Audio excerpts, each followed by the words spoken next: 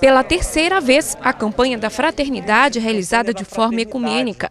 São as cinco igrejas que integram o Conselho Nacional das Igrejas Cristãs do Brasil, unidas e comprometidas a discutir o tema Economia e Vida.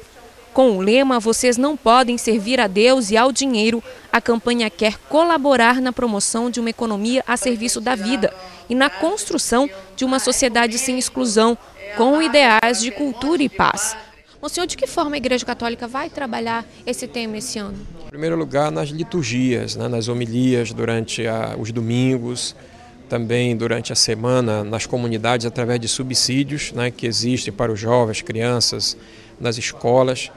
Algumas paróquias estão já organizando seminários né, para debater, aprofundar o tema, mas, sobretudo, convocando os católicos ao gesto concreto né, da, da campanha, que será aqui em Belém a, a, o aproveitamento ou a reciclagem do lixo, né, e, nesse sentido, criar grupos ou instituições que possam realizar isso.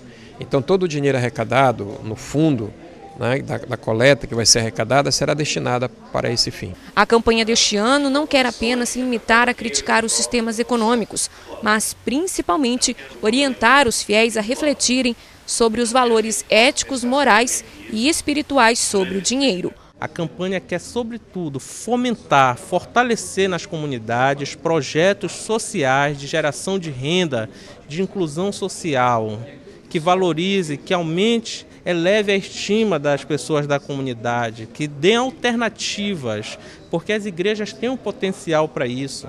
A igreja está onde nem mesmo o Estado alcança. A igreja são agências fundamentais de educação, de formação e de fomentação de atividades que possam integrar as pessoas e assim transformar a sua realidade local para que assim a gente possa transformar a nação.